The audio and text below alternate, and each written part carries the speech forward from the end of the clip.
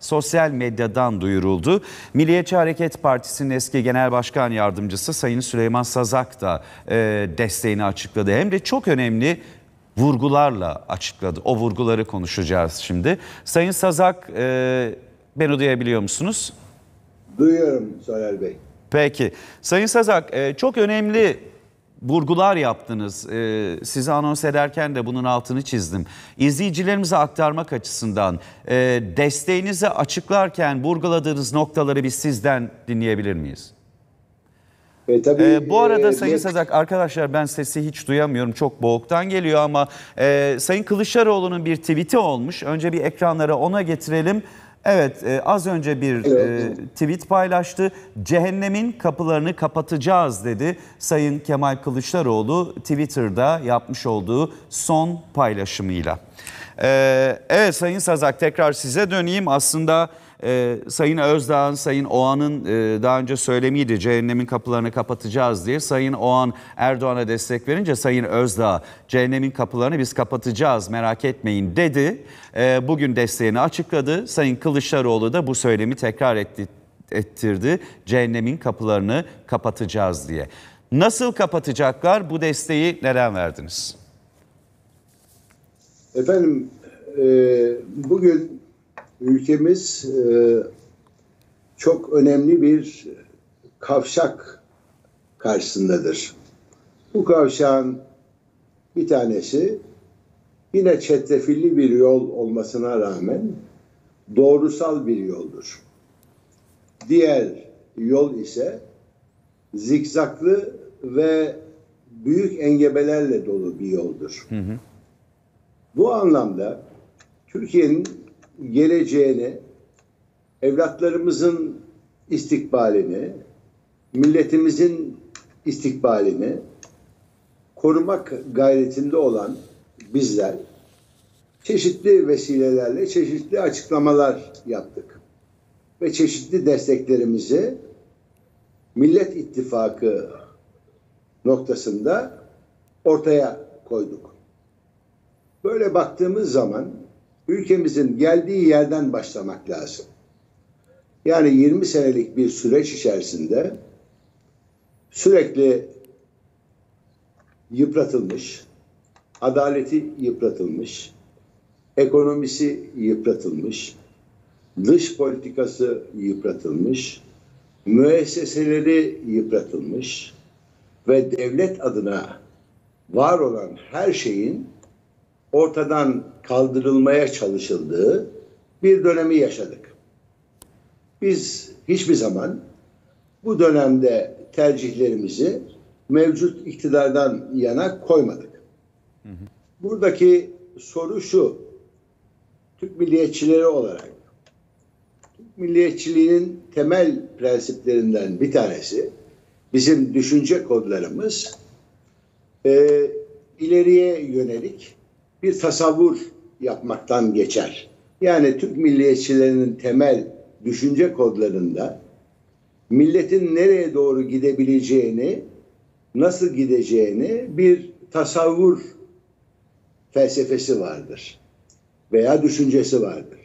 Bu anlamda baktığımız zaman gideceğimiz yerin mevcut iktidarla gideceğimiz yerin çok karanlık olduğunu görmekteyiz.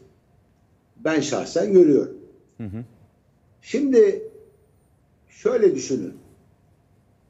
Bu ülkede 12 milyon 13 milyon veya milyonlarca mültecinin olması bu ülkenin bu mültecileri kendi ekonomisi içerisine katması ve birliğinin içerisine katması noktasında baktığımız ve gördüğümüz şu manzaradır.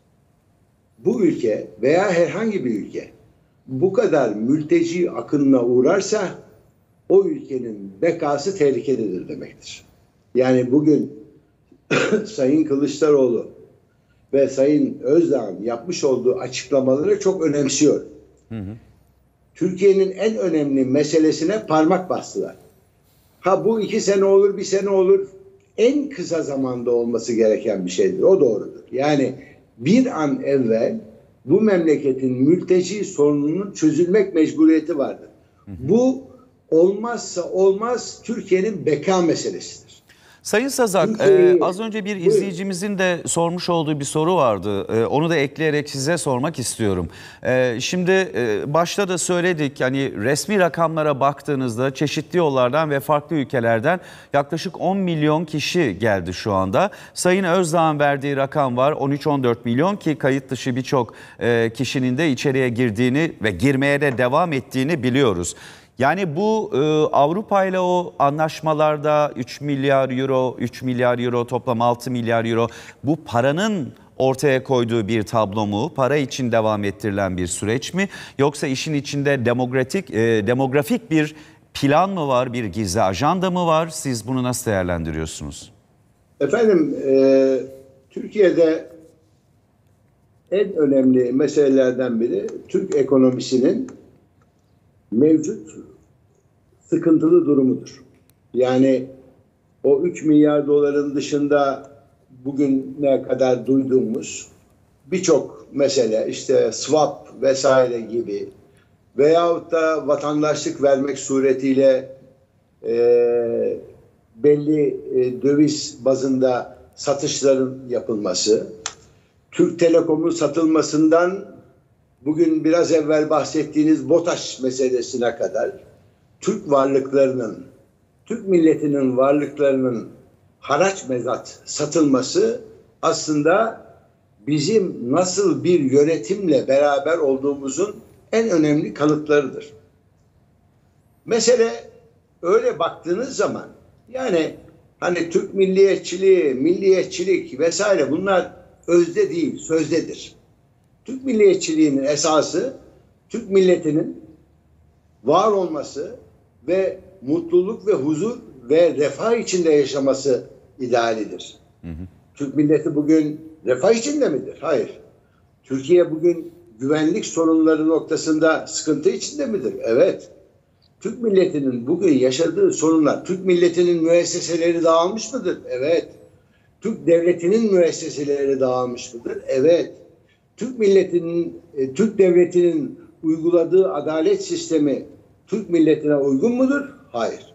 Şimdi bu tip şeyleri sorduğunuz zaman yani bir Türk milliyetçisinin yapması gereken şey zaten bunu irdelemektir. Bunların hangisine doğru, hangisine yanlış diye cevap verebilmesidir.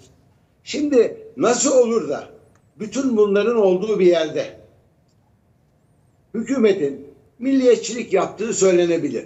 Sadece efendim güvenlikçi bilmem efendim şunlar şöyleydi, bunlar teröristti vesaire yaftalarla milletin diğer fertlerini suçladığı, diğer fertlerini bölücülükle suçladığı bir ortamda ki şunu da ifade etmek istiyorum. Türk milletinin en büyük sıkıntısı Türk insanlarını öyle veya böyle diye bölmektir. Türk insanlarının hiçbiri Türkiye'de yaşayan her vatandaş Türk milletinin bir ferdidir. Güneydoğusundaki de, batısındaki de, kuzeyindeki, güneyi seçime giderken e, bu üslubu, bu yöntemi kullanarak toplumu kesimlere ayırıp bir de kutuplaştırmanın ardından birini birine hedef gösterip bunu yaparak aynı zamanda milliyetçi bir söylem nasıl bir arada olabilir? Milliyetçilik kavramı esa- pardon, zaten esas soru yani hem belli şeyleri yap yani hem ekonomik olarak ülkeyi çökerteceksin. Hem ülkenin bütün varlıklarını satacaksın.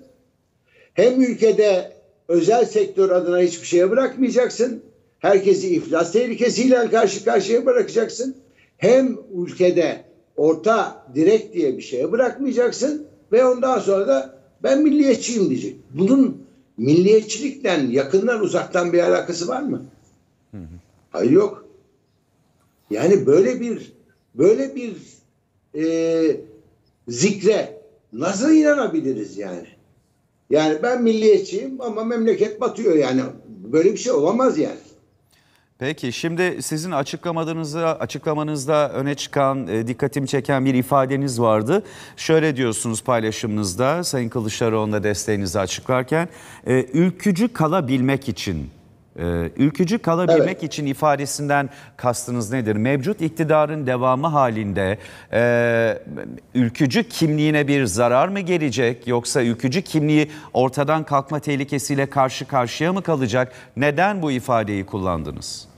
Efendim Türkiye'de bütün değerleri yozlaştırdıkları gibi Türk milliyetçiliği, ülkücülük değerini de yozlaştırıyorlar. Türkiye'de dini yozlaştırmadılar mı?